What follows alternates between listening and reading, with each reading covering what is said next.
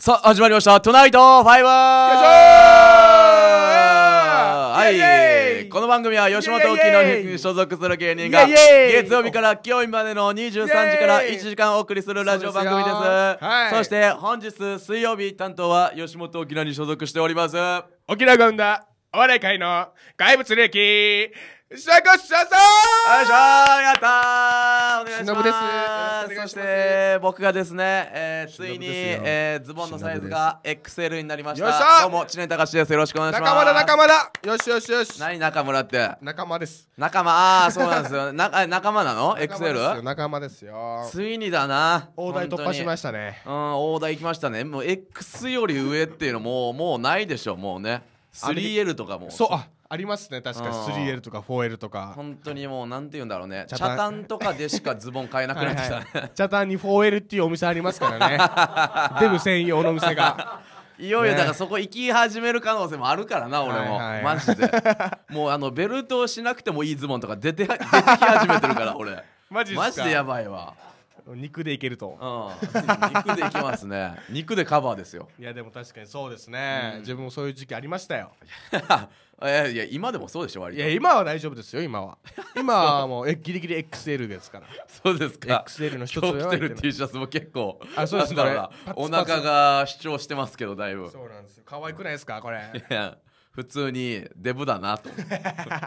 よしじゃあそろそろあの今日はあのゲストがもう来てくれてますから。ありがたいございます。じゃあ、ありがたいでございえーますよ。ご紹介しましょう、はい。ゲストの方二人来てます。この方です。どうぞ吉本沖縄に来てのシーマントーマです。よろしくお願いします。やったお願いします。すいません。ーはーい。シーマンです。そしてもう一人来てます。どうぞ。大家意味だよ。やったいやー！いやいや、なあのね、あのそうや歩みだね、よとうるさいんだよ、スタートから。え？スタートからテンションがうるさいんだよ、お前たちは。いやいやいやいやいやいやいやいや。いや、私も楽しいよ。いやいやなんでかって？16時からここにいるからね。この前も言いましたよね。この前も16時からいますよ。6皆さん。時間。着いたらいいのか16時、つまり午後の4時からいいやまいやわかるわかる。説明しなくてもわかるよ。7時間いますよ。7時間ってやばくないですかす。間の1時間半は車で寝てました。え間ー、マジっすか？スタッフより？あのレモコザのスタッフより長く。やばいね。もう社員じゃん。すごいよね。もうすごいな。FM 小座のスタッフのさ、もう机とかにも普通に座っちゃう。そうなんですよ。さっきびっさっきびっくりしたんですおよなんかスタッフの部屋みたいなところに堂々と入っていくからえ？っと思って。普通にもうスタッフのように振る舞ってた。そうそうそう。だからもうそうね。会って速攻開口一番「知念ネタ作って」いやいやいや確かに確かに急急急すぎる状況が呼び込めないよ嬉しいよね。いや嬉しいやっぱなんか同期とかさ、あまあ後輩ちゃんもしっかりそうだけど、芸人がいるって嬉しいよね。そうだね。今日はもうだいぶ重量級の4名いや本当そうですね。確かに言われてみたらそうですね。そうよ。いや前回も一瞬だけね参加して、あはいありがたいことに。30分だけ参加して帰るっていうね。いやいやいやいや。で帰って車中でちょっと メール送るっていう。ああよことしましたから。ね送ってくれたね。ちゃんとあの路中したからね、あのあのちゃんと交通ルールを守りましさたから。すがですよはい。さす。がですいや路中しないと書けないですからね。路肩に止めてね、ちゃんと。うん。はい。シーマンも来てくれてるから。そうだよ。僕はあのあれですよ。ん？先ほど知念さんが言ってたうん。4L からうん。毎月新作出ましたってハガキ来ますよ。ええはがき来るんすか？あのー一度買い物に行ったえら、うん。あのカード作ったらお安くなりますよって言われて、はいあの一応名前とか電話番号とか登録したら、はい。はがき毎月来るんで。あります。これって実際どうなの？あのデザイン的なの？私もえさ、これって入ったことないんだよ俺。あれじゃないですか？スーツスーツ専門店じゃないですか？違うよ。え？いやさすがにスーツじゃないでしょ。カジュアルなものもいっぱいあますよ。マジっすか？だってヤスのホイールで買ってるでしょ。あそうなんですか？あそうなんえだからちょっとデザイン的には、私もね、あのおデブちゃんのブルーに入るんですけど、あのないのよ服がやっぱ。まあわかります。はいはいはいはい。なかなかマジでなかなか服がないから。メンズサイズとかになっちゃうってことですか？だからメンズ私女だからメンズ買いたくないわけよそうですねあはい。ーまあそうだよね。うん、だから私はもう直美さんのブランドのプニューズをうん。インターネットで注文し買ってきてるんだけど、うんはい。でやっぱあれね高い高いっていうかなんか高くつくじゃん。うんお金持ってる人が買うイメージあるけどねそれは。プニューズ。12分割払いとかやってるよ、ええ どんだけ高価なものひどい時買ってる 16, 16回払いとか。だったらもう 4L 行っても それこまで。4L がだからどんなデザインなのかな。あ女の子用のもあるんですかね。ありますあります。あるんですか？ありますよ。あるんですか？ありますあります。えネットとかで見れないのかな 4L って？見れる？どうですかね？ネットではちょっと見たことないんですけども。勝手なさ私のイメージなんだけど、はい丸絵とかそういう感じのあイメージ。あ勝手なイメージだよ。悪いってわけじゃないんだけど、うんそういう感じなのかなっていう。うん。西洋の服が可愛いかどうかは僕には判断がつかないんですけど男性用のやつは結構かっこいいではありますよ。でも高いでねす1万3000え円とか、あやっぱやっぱ大きいサイズなは大きいサイズはやっぱあの生地も結局金かかるんですよあのシーマンがよく着るあのバックトゥーザフューチャーとか、はい。あのゴーストバスターズとかアメコミのアメリカ映画のやつあるじゃん。あれはユニクロじゃないのあれはユニクロです。あユニクロあれ。あれはユニクロだと思う。だから若干サイズ小さいけど無理やり着てます。えもうだって文字とかめっちゃ横に伸びてるもん 3D みたいな。そうそうそうそう。飛び出てるもんなでもお気に入りなんですよ。俺が結構シーマンでびっくりしたのが、はい。あのシーマンのズボンが、はい。お化け屋敷のマジムンの衣装とぜ一緒ってやつあったじゃん。ああ去年着てましたね。気に入って気に入って同じタイプのズボンを買った。そうそうですそうです。しかもそのズボンの裏にちゃんとシーマントーマンマジックで。あ今今はもう芸名の方でね、はい。トーマケンじゃない。方寝るときに着てます。シーマンなんかシーマンなんかマイク低くない？低いですかマイク。あのー今今いい感じでした、鼻息とかリップノイズがリップノイズ先ほどもあリップノイズ。のちょっと聞きましたんリでリリップリップノイズ。口がくちゃくちゃっていう音が入りやすいん。で僕リップノイズって初めて聞いたな。ね本当だ。専門用語専門用語。専門用語。レディレディオ。のどこの専門用語？どこの業界の言葉？いやラジオ業界の言葉です。ラジオ業界の言葉リップノイズレディオのレディオのもうプレサポとシーマンしか使わないと思うまさにプレサポです。プレサポから言われました。あプレサボから言われた。年代が上の方ぐらいの方。あちょっとリップノイズが聞こえちゃうな。言 いそうめっちゃ言いそう腹立つな。腹立つな、はいということでいやートレンド5楽しいな、はい。オープニングはカットバスななんか。いやいいですよいいですよ。はい。意外とまだ3分しか経ってそうね。シーマンとはだから、はい。あのーちょっと1時間2時間ぐらい前に、はい。あのそれこそさっき言ったお化け屋敷のね、はい。あのちょっとした稽古があってありましたね。あんまりお化け屋敷に入ってない人たちが、はい。ちょっとなんかこの練習したいというか、はい。僕らもあのお化け屋敷できますよとはい。なんかそのなんていうの？ちゃんと回りたいんでちょっと練習させてくださいみたいな感じの場で一緒だったのよねそれで。やる気をアピールしつつはい稽古不足を補う補完するみたいな。はい。そういうこれはもうぜひ出ないといけないと思って出ましたけども。うん素晴らしかったよ。だってもうやっぱすごいなと思ったのはみんなあのお化け屋敷のかあのなんていうの？稼働時間じゃなくてなんていうの？えー、と勤務時間ですか？き勤務時間じゃない。そのだからなんていうの、ま営業時間だ営業時間はい。営業時間が終わった後にやるんだけどその時みんなやっぱ終わった後だからラフな感じの私服で出るけど、はい。シーマンシーマンだけもう上下きっちりマジムンの衣装でああ もうそうねやる気満々で行ったんですね。一人だけもう満々なだよるほど。みんな私服だけど。も着はい。替えてないと怒られるかなと思って。いやいやいや。で誰も着替えてなかったですね。いやそのやる気は社員買いますよねだからさすがですすよはい。だったけど、えー、で一番さ、えー、シーマンと野原が一緒にコンビ組んで,、そうです。お客さん社員さんとかをねお客さんと見立てて、はい。もうガイドとして30分ぐらいかかって、もうわーって回した後に、うんうん吉本の社員さんが「はい。シーマンやってみてどうだった?」っつって。はいはいはいはい。シーマンが一言、45点です。うん。45点です。えその時はみんなうーんってなったんですか？なんなんでって聞かれて。あまはい。あちょっとあのーお化けに徹しきれてなんかなりきれてなかったあーマジムンに。もうあそう。のお客様を世界観に引き込むことができなかったので45点をつけましたってことを言って。でもやっぱ怖くないっていうのがあったのよその練習中。ああなるほど。みんなが普通にあなんかちょっと後ろの方から急にバンうわーとか脅かしたりするところを、はいはいはい。シーマンは急に出てきてケーケッケッケッケッケッケッちょっと驚かし方が違うんすね。そうそうそう独特なわけよ。ケーケケケケケ何をイメージしてるか知らんけど。ケーケッケッケッケッケッなんかお客さん騙されたはな人間たちよ。笑っちゃうなそれ。そう。お客さんの心からしたらあなんか来たみたいな感じなんですね。うわーじゃなくて。あれもやりようによってはもう本当にマジで天下取れるよ。マジで面白いそれをいいっていう人もうん。俺はいいなと思った素晴らしいなと思って。いやいやいやいやいやいや。はい結構参加されてたんですね皆さん。そうそうそう参加してましたよ。すごい雰囲気を生かすようにゆかわりましたしね。僕は言ってないですよもでも忍が本当に何してるのか分かんないから先週も言ったけど俺マジ忍の動向をね、はい最近何してるかを、はい忍のブログで知るっていうのやってるのちょお前なんかしじみんちゅとか言ってるじゃんあ連れてってよ行きたい。行きましょう行きましょう私行きたいしじみんち。ゅ うめっちゃすごかったです。大好き大好き行きたい行きたい行きたいマジで行きたあな毎日生演奏してるらしくて。うん。メドレーやばかったですね。いいくらなの？いくらなの？いくら？いくら？いやでもでもまあまあなお値段は。じゃあ忍のお金で行こう。ああ まあまあまあまあ。忍のお金で行こまあまあまあまあいいんかい。まあしみまあ本当にでもいや でも本当にめっちゃ良かったんですよ。あステージもあって。どんな感じなの？皆さん、まあ、ステージがあって小さいもう本当うん。2メートル四方ぐらいのなんか小さいステージで、うん。まあ、しじみさんが30分ぐらいやるんですけども、モノマネ？モノマネショーです。はいはあめっちゃいいな。松田聖子さんとかああいいね。往年のやつ。あもう往年のアイドル。素晴らしめっちゃいいめっちゃいい。そういうのな。見たことないから。めっちゃ興味あるんだよ。な私も行きたい。行こうぜ。あ忍のお金でやばいっすよ。忍のお金で。うマジで。シーマンさんが角の目してますけどいやあの行ったことあるんですよ七時えあんの？すごいっすよね。どうだった？どうだった？いやもう入ってきてくださいもっと。あの最初あのしじみさんのモノマネの時間以外は自由にカラオケとかしてよくて。あそうです。カラオケもできるんですよ、カラオケもやりたいちょ放題で。っと待って落ち着け落ち着け本当に。ヘッドホン取れてるよもう。じゃあカラオケしに行きたい。ああなるほど。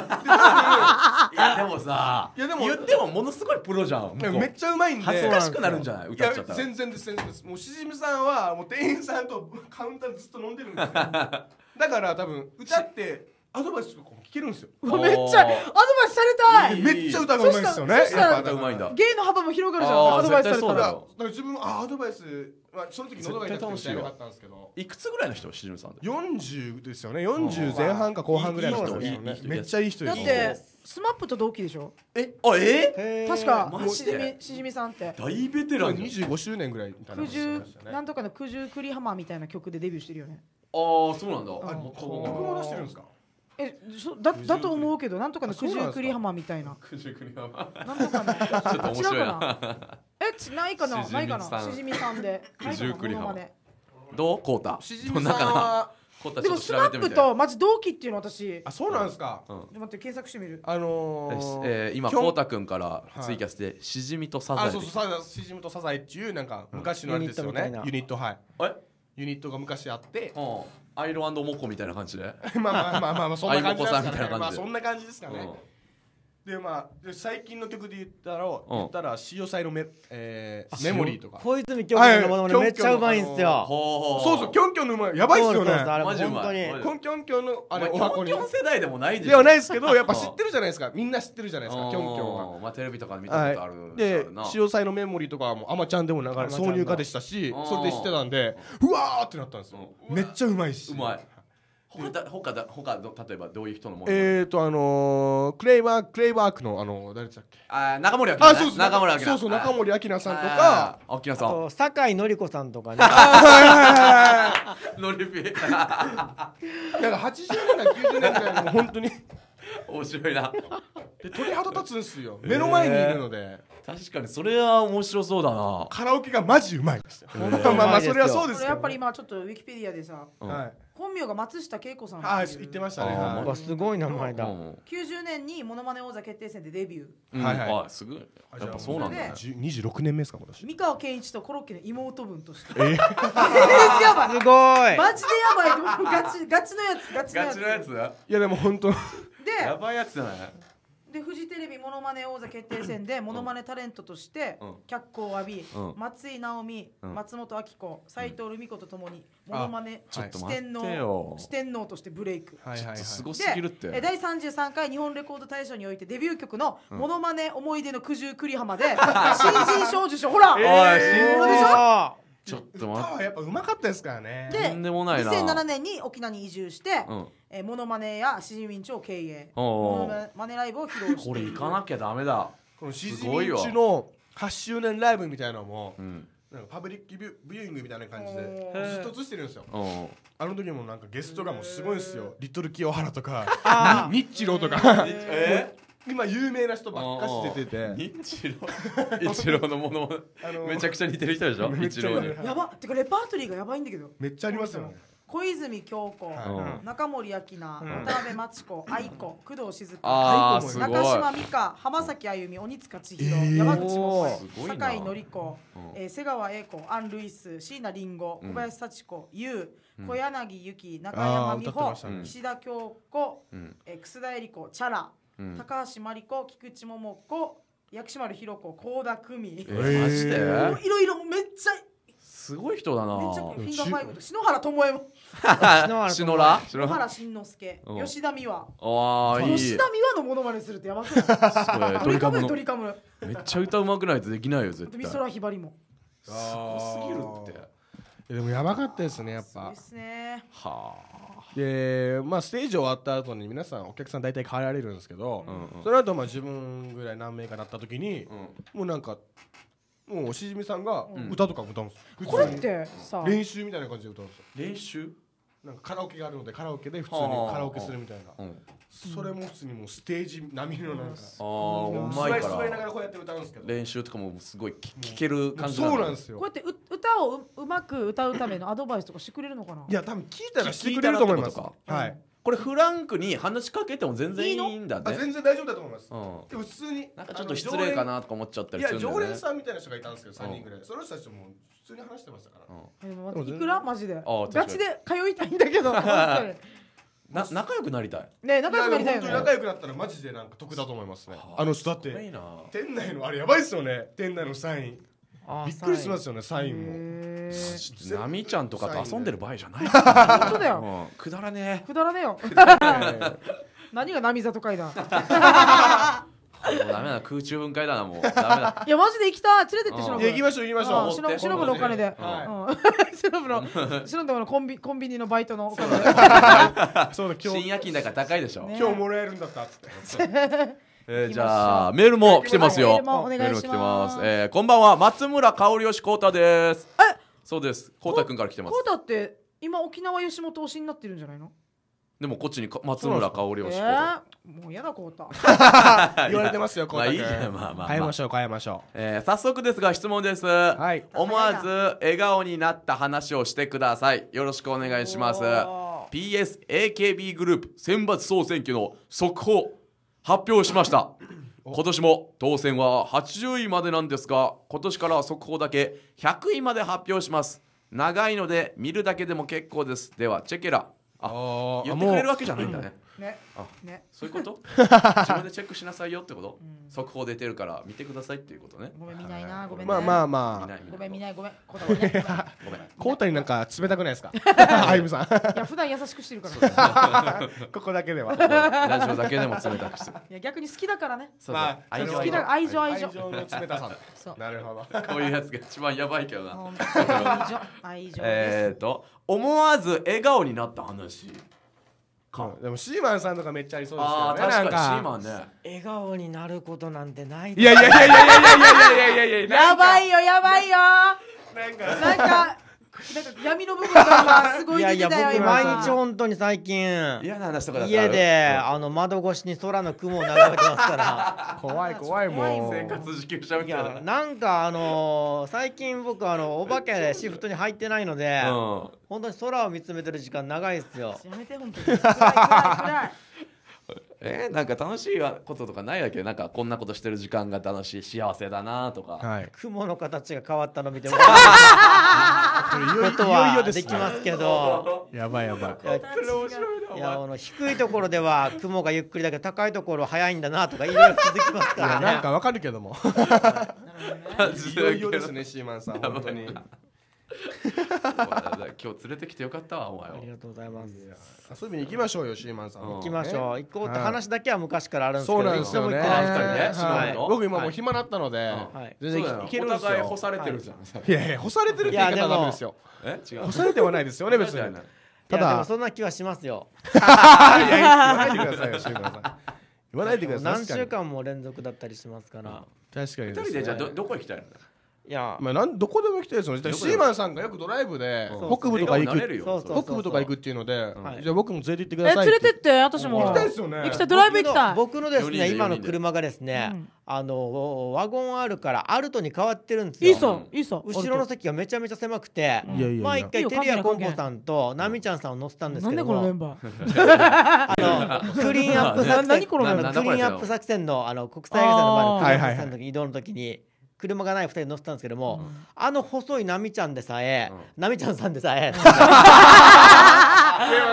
今裏の顔が見えましたね今。漏れてんじゃん。あれはねしょうがない。芸名芸名が悪い。あー確かに。ナミちゃんさんって言いづらい言いづらいですね。はい。はななみちゃんさんでさえまっすぐ乗れなくて横向きに乗れました。もん靴を脱いで。なみちゃんでさえはい。えじゃあテレコンポどうなったじゃあ俺らもテレコンポさん助手席での乗れてますけど後ろの時はめちゃめちゃ狭いんですよ。えいいじゃないですか。自分も車持ってますので自分の車とかでも全然。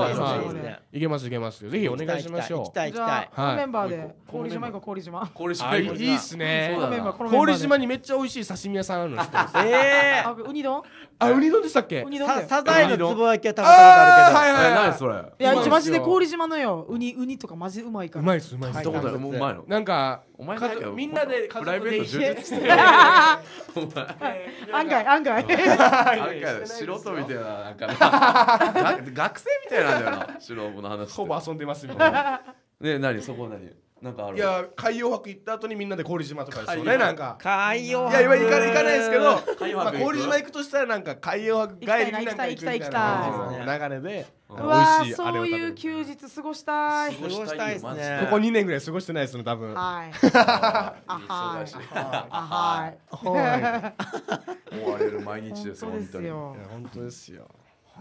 自分今ちょっと楽きゆゆとりがあるので今自分。ゆとりが。はい。ゆとりっていうのは時間的なゆとそうりですか？ですね。気持ち的にも。あ気持ちもある。し今までもすべて。マジで本当今日とか何して過ごしてたの？今日は自分はマジでもうあネタ練習。忍が合わないから分かんないんだよな。僕はでもネタ練花月の出番あ終わった後にネタ練習してちょっと寝てこっち来たって感じですかね。やっぱうちのライブがあるのでもうやばいんですよね。頑張って週に1回ララバーはい。なんか意外と追われますねやっぱりうちのライブがあると。なんかうちのライブの話した瞬間。あゆみさんがもう思い出したくないみたいな感じの。やめようやめましょうこの話は。うちのライブはいいよあのうちのライブは人気者だけやれってやってもうそうですねぐらい頑張れそうだなはいじゃあ一曲流すじゃあ一旦行きます一旦ん CM 行きましょうじゃあ一旦 CM ですどうぞショートあいいですね。ショートシーマンさん。ショートシーマンで吉本メモを読んだ方がいいのあかあそれともトークの中でトークの中でやった方がいいのか。ショートあゆみも聞きたいですね。なんか。何でもいいです。よいいわけ。あの今一週の。発ギャグでもなんか音真似とかでも何でもいいですもんね。今週のショートしのぶとか今週のショートたかしとか言って、はい。え一発ギャグしたい。なんだ逃走中のナレーションとか言って俺がやったりとか。しのぶがシーマンさんから聞きますよわかりました。短い話でもいいし。あいいですね。いいっすね。短い話聞きたいけどな。今週の短い話。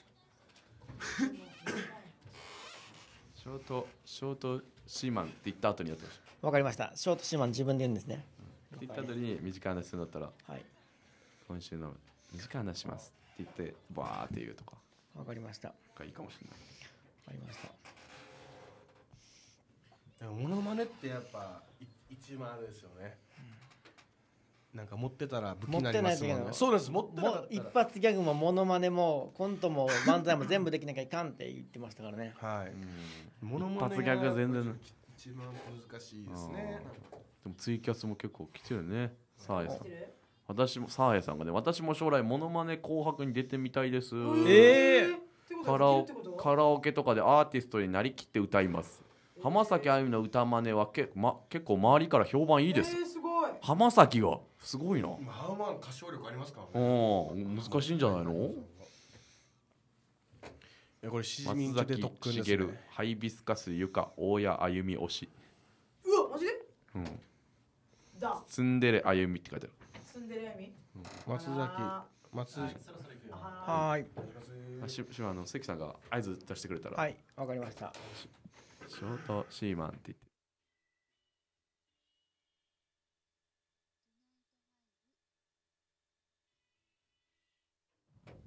今週のショートシーマン、えースマートフォンに吉本メモっていうのがあるんですけど大阪 NSC38 期生は沖縄5期生ボンジョルノ織田健太メガネ顔が可愛いって書いてます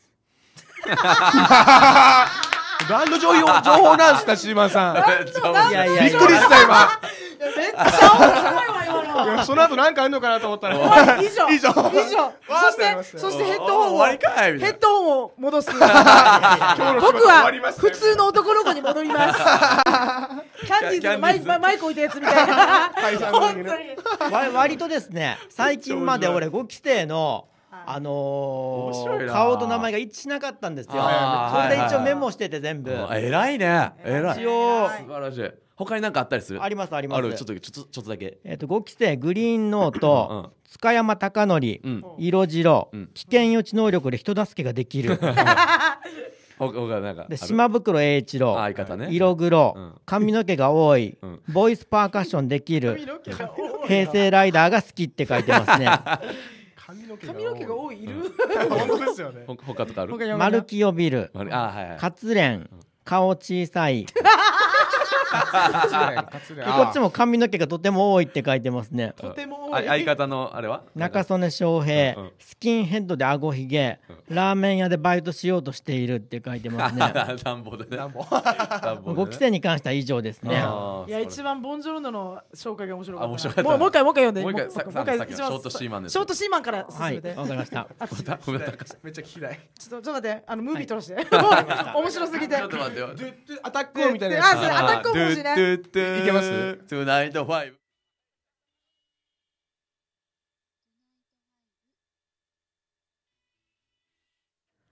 今週のショートシーマン吉本メモ5期生大阪 NSC38 期生は沖縄5期生と一緒。織田健太メガネ顔が可愛いと書いてある。以上です。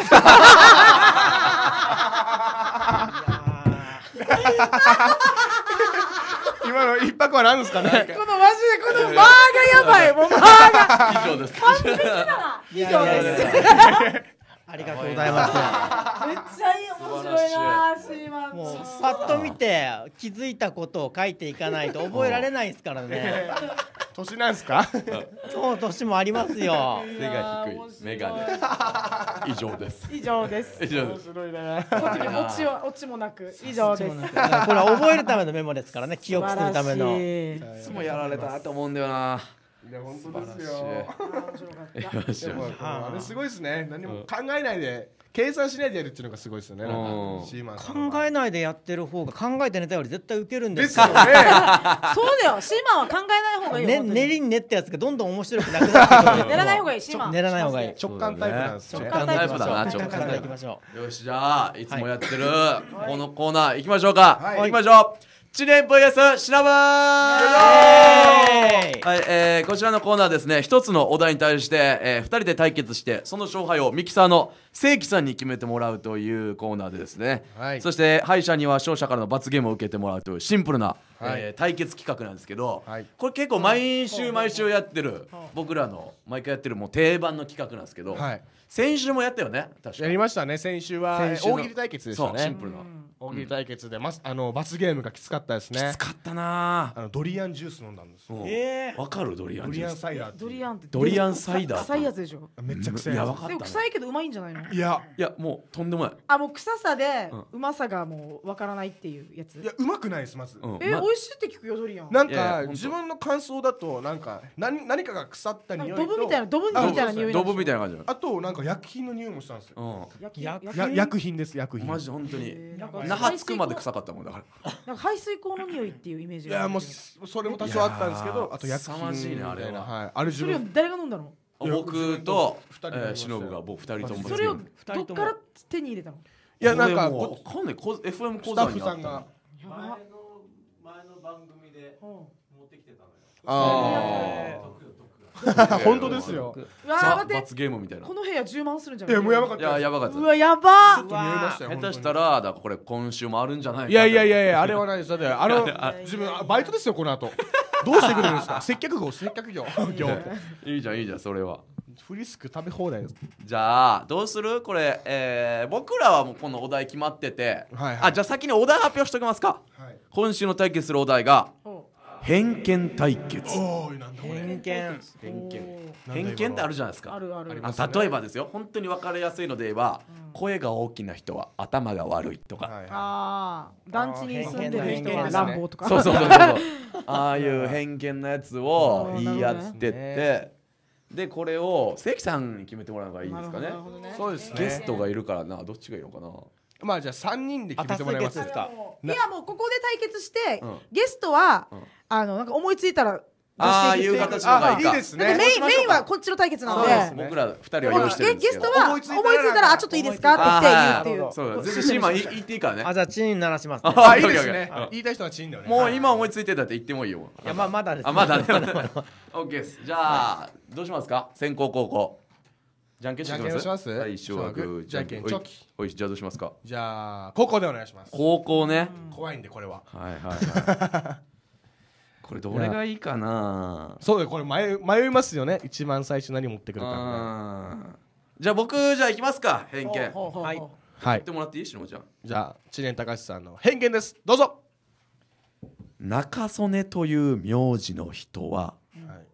細長い そういう人が多いからね。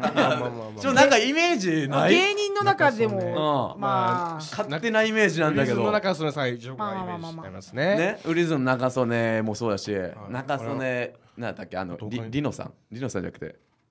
ああの俺あのなんだ少女時代とかのあの振り付け。あの人細くはなくないですか？細くない？ちょっと長身の細身のあるってイメージあるのよ。ジイメージね。中曽根っていう名字はいはいないかな？わからん？うん。あんまりしっくりきてないか。ああなるほど。そ忍行くなんですじゃあ自分いいですか？じゃあ行きましょうか。はい。しのぶくんによる偏見です。どうぞ。個人タクシーの料金メーターはあれ詐欺ってる。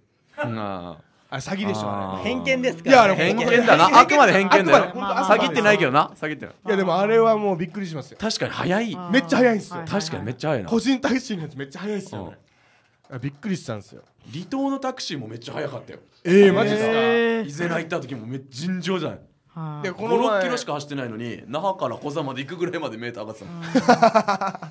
とんでもなかった。でこの前なんか自分23年前ぐらいにですね、うん。那覇空港から実家までい おお金がなくてですね、うん。あのタクシーで帰ったんですけど、うんうん。まあ、その時個人タクシー乗ってて、うん。まあまあ普通のなんですよ上から高速から帰るじゃないですか、うん。尋常じゃない料金メーターの上がり方するんですよ。ポンポン。ポンポンポン。ポンポン。やばいやばいやばいって焦るんですよ。うん。でそれがあったのでもううん個人タクシーは全体的にそうじゃないかっていう、あーまあ、偏見ですけどね。勝手なイメージでな。ほんと早かったんですよ上がるのが。なるほどね。7000 6500円ぐらいしましたからね。ちょっといいいい偏見かもしれないなこれ。ははい。あ本当ですか？あじゃあ私思いついた。あ置いた？お願いします、行くえー持ち物をうん。ピンクで固めているうん。人の部屋は汚い。あーなんかあるわかるわ。汚い。汚い。偏見よ偏見だよ偏見。あたああくまで偏見。正直私もそうなのよ。私も車ピンクだし財布もピンクだしピンク大好きなんだけどクソ部屋汚いから私マジで。なるほど。おしゃれはするけどなんか汚いめっちゃ部屋汚い。片付けられないタイプ。これど偏見だな。ド偏見。でもう一つそれにちょっとな続けて。うんまだあんうのんでそう持ち物をピンクでうん。固めてる女の部屋には大抵ローターが置いてある。偏見だよあ偏偏見偏見ですよ。偏見ですよそれも。はいはいはいはいねピンクとねピンクローターかけるみたいなところもありますからね。偏見ですよあくまでね。やばいなそれ。あくまで偏見ですよ。あくまで。持ってそうだなでも。あくまで。勝手なイメージであああああ島田さん。行く？はい。じゃあ島の偏見。お願いします。弁当屋のおばさんは太ってる人の方が愛想がいい、あーなるほどね。イメージあります確かにこれはもう偏見っていうかあるある。あるあるだね。あるあるですねあるあるだな。わからんでもないな。わかりますねわかりますね。うん。ニコニコしてますもん。ああいや止まらんな。あのー願いします茶髪のうギャルはうん。足臭い。いや偏見がひどいこれは。いやいやもう偏見だいや偏見とかまあまあまあいまあいいですねまあまあまあ。勝手に。い でもこれはこれは関係なくないですか？やいや偏見イメージイ臭い人はメージ臭いですからね。比嘉龍太とか。確かにな。じゃあじゃあそろそろ俺らの偏見いきますか、あはいじゃあ僕ですね。はい。はいじゃあ行きましょう。じゃあちょっと言っても知らっていい？念はいじゃあお願いします知念さんの偏見です。どうぞ。黒い服を好んでつける人は、ん。あまり打ち上げに参加しない。なるほどね。なんか勝手なイメージではいはいはいはい。今さん行動が迅速っていうかちょっと淡白なイメージがあって。わかります T シャツ俺全部黒ですよ。なんか。なんかあんまりワイワイするのも苦手だしはいいや俺いいわみたいな。はい。すぐ帰るイメージあるんだよな。はいはいはいわかる？わかります。多分多分周りもちょっと共感してると思うんだよな。いやいや本当ですよあるわかりますめっちゃわかるわかる。はい。でも偏見ですからね。ああくまで偏見。はい。好きな人もいるだろうしね。はい。はい まあまあ いますからね。しのぶちゃん言っとく？じゃあ自分お願いします。でしのぶくんによる偏見です。どうぞ。面白いなこれな。この時間に時間帯にラジオ聞いてる人は大体やばいやつ。マジで。まあまあマジで。それは偏見。あくまで偏見。あくまで偏見。あくまで偏見。です見。とかじゃないわあくまで偏見暴言暴言じゃああゆみさんはい。お願いします。えープリクラを撮りたがるやつははい。寂しがり屋。うわなんかもう偏見偏見。これもう偏見ですよ。あ知念さんお願いします。毎日ブログを更新する人は大体変なやつ。いやいやいやいやいや関係ない忍ぶですねこれいやは関係ないでしょ。忍ぶですね。いやゆ芸能人いっぱいやってますから。そうですね。でも変なやつばっかりでしょ絶対。いやオール巨人師匠もやってますから毎いやい日あの人23回やってますからねああい一やそこあまでいくとそしてすごい毎日ブログを更新するやつはん。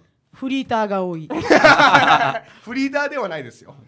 もちろんフリーターではないです。一応芸人っていう仕事面白いなこのコーナー。確かに。ちょっと待って待って。どんどん出てくる。生かさせて。出てくるじゃないですか。けん玉が好きな人は大体変なやつ。ナミちゃんさんじゃないですか。変なやつシリーズこれ。なんだ変なやつ磯本五段ナミちゃんさんですよね。いやなんかわかります。でもでもちょっとわかるだろ。でも変なやつじゃん。変なやつじゃない？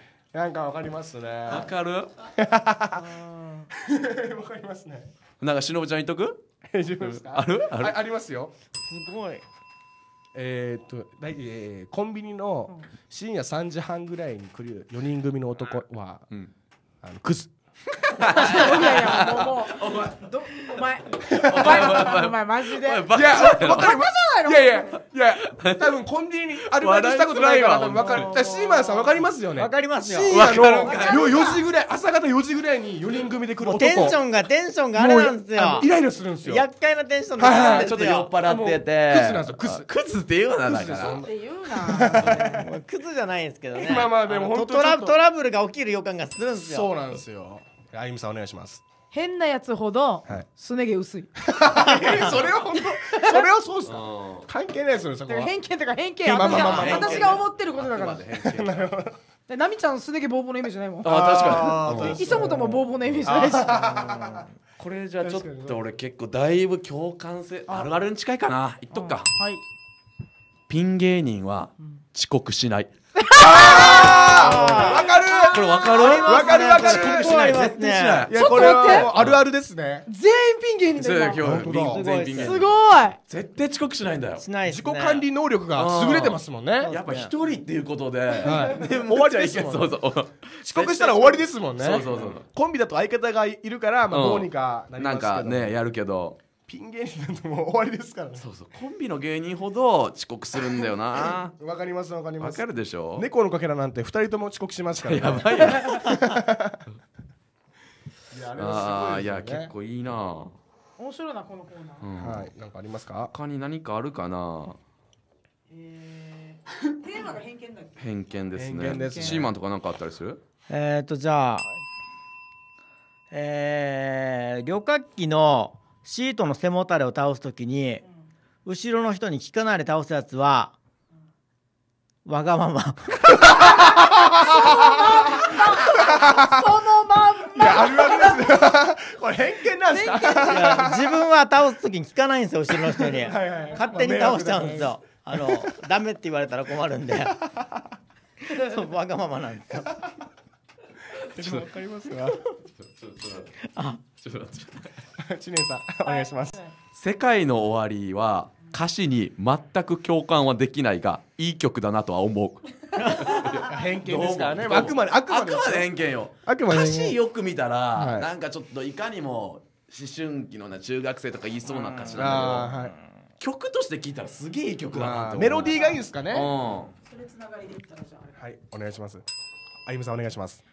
ファンキーモンキーベイビーズのファンは病んでる人が多い。うわーでもなんか。偏偏見ですからね偏見ですからね。もうなんかかなんかメッセージ性が強い歌詞そうですもんねなんですよなんか。実際私もそうでしたからね。本当に。前向きになれるっていうね。あファンキー加藤さんの歌詞書くなん歌詞がすごいですもんもうね心に突き刺さって。ですよね。確かにイメージあるな。うんそうですね。確かに確かにそうですね。じゃあ言っときますか。はい。はいどんだけ怖い人でもカーディガンを着ると優しく見える。どんなこれ？あいいねいいねいいね。梅宮達夫さんでもさカーディガン着たらほら一気にパパ感出るじゃんほら。はいはいはい。でしょ？わかりますね。じゃあえー、ベンツに乗っている40代女性は頑固。えなんかあなんかある？え 説説明。なんか吉本のスタッフさんになんかいるのでいやまあ言っちゃダメなんですけどはい。あしあ島。島さん。沖縄でコートを着てる人は我慢してきてる。そうですね。まあ確かにな。暑いもんな。偏見っていうか事実ですよ。今なんかなんかずれてますよね。じゃないんだよ趣旨とずれてますよ。すまんすまん。ごめん。なならないじゃない。あ知念さんお願いします。大喜利が強い人は友達が少ない。ああーなんかなんかイメージありますね。なんか思い浮かびましたねそうでしょ。今。少なそうでしょ。なんか今ポンポ寡ンポン黙なイメージがなんかね一人で物考えるのが好きな。今何人か思い浮かびましたうん。ね確かに確かに。そうですね。これ言っとくかな。もうやばい。これ言っとくか。おまだありますか？じゃあ知念じさん。ゃあ言っときますか。知念さんお願いします。小説が好きな女性は性欲が強い。ここれは間違いない。れ間違い間違いない。偏見じゃないですか。これは間違いないと思うよ。偏見じゃないでも偏見だよ。偏見。大概小説が好きな女性はローター持ってます。よ絶対これこれは偏見だけどね。もう絶対持ってると思う。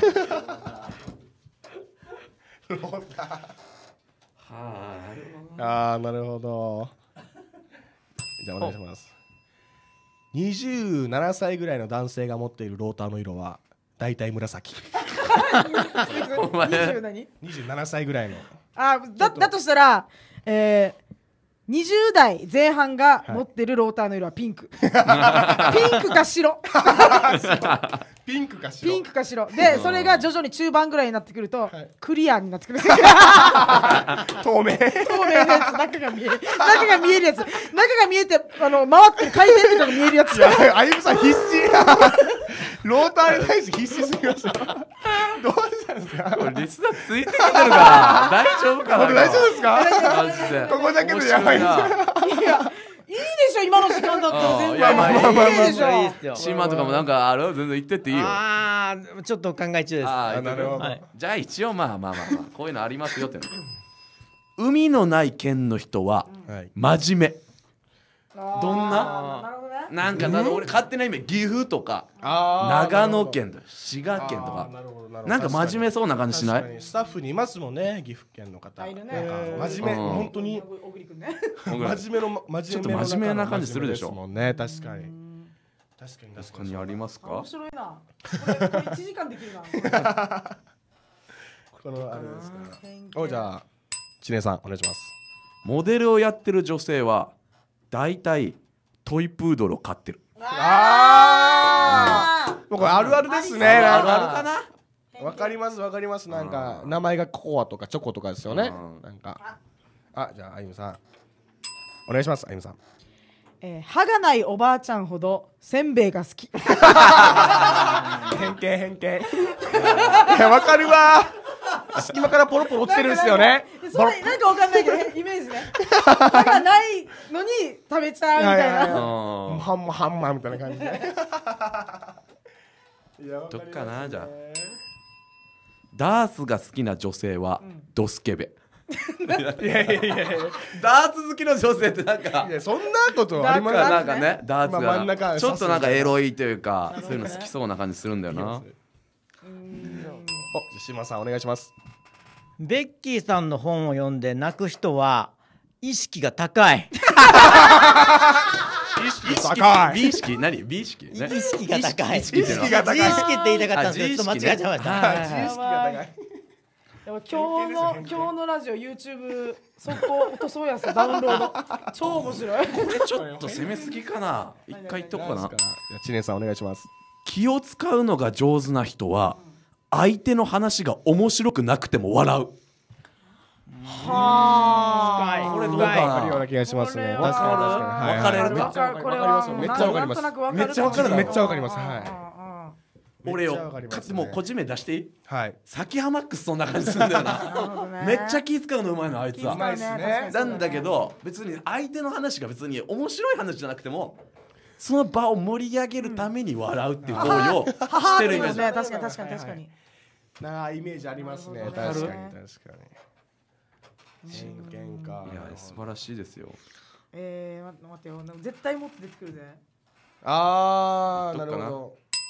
じゃあ知念さんお願いします。女優さんはなぜかわからないけど爬虫類をペットにするって 蛇とか。そう。いっそなんか楠田絵理子さんとか。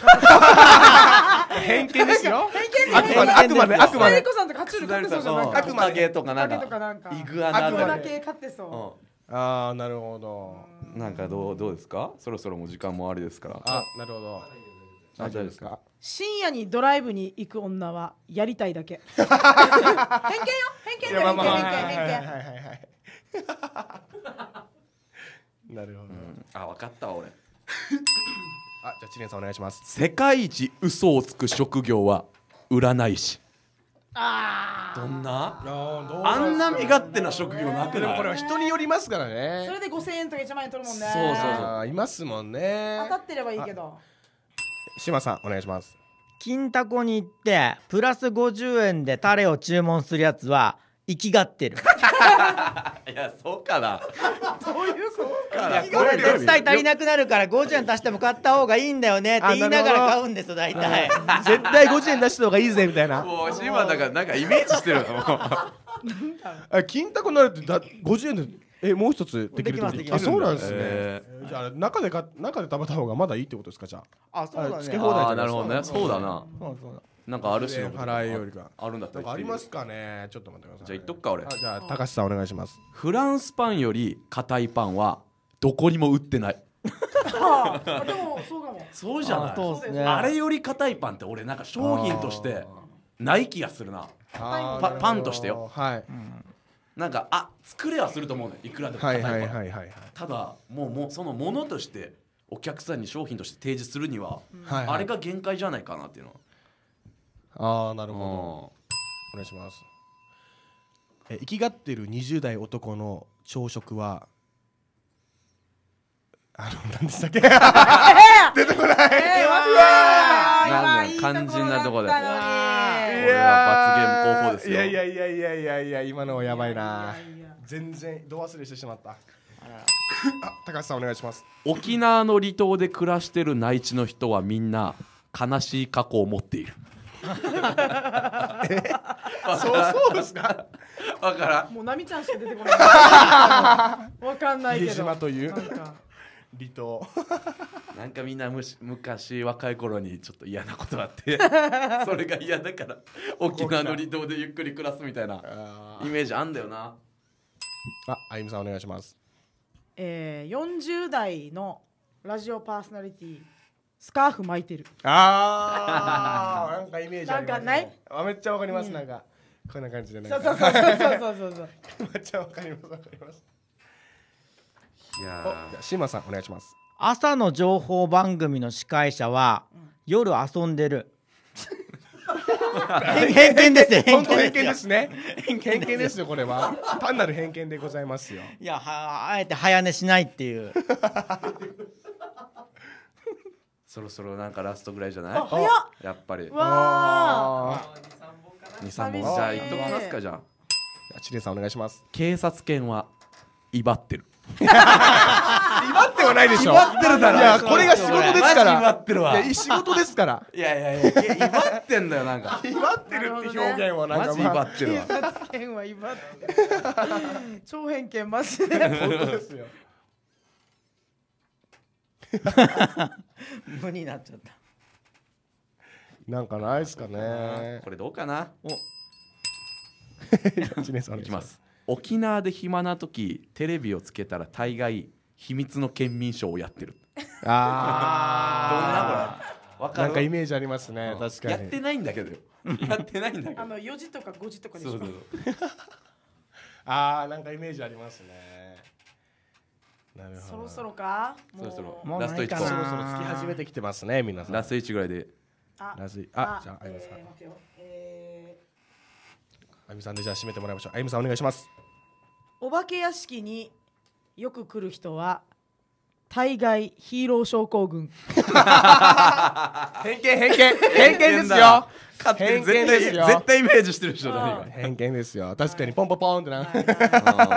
まあいるけどね、はい。そういう人も。偏見ですけどね。いやラスイチシーマンとか言っとく？なんか。え八島さん。なんかああるんだやばいやばいやばい。時間がない。やばい。時間は時間はありますよ。時間はあるよ大丈夫よ。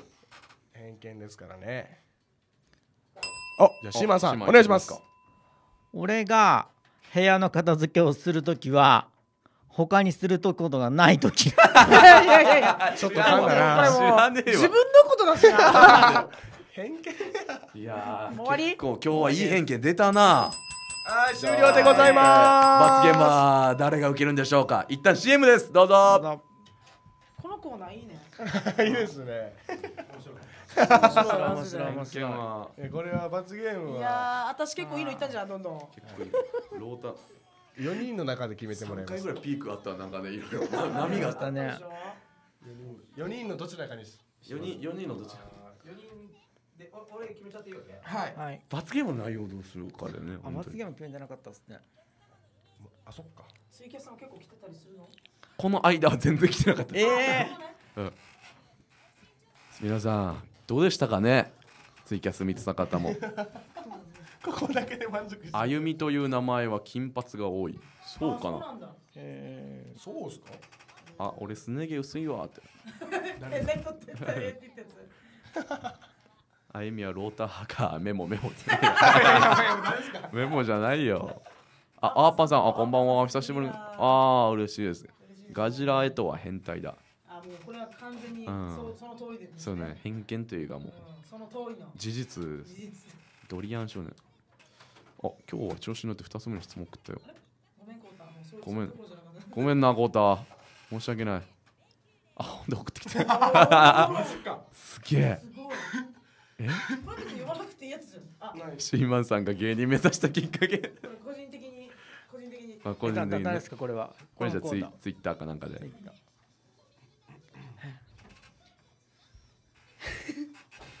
罰ゲームどうしようかね。一瞬今日できるやつ。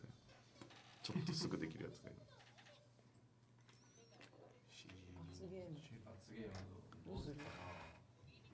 何がある罰ゲームって？全員にジュースおごるとかそういうのしかないの？もうそれもきついな。何がある？他に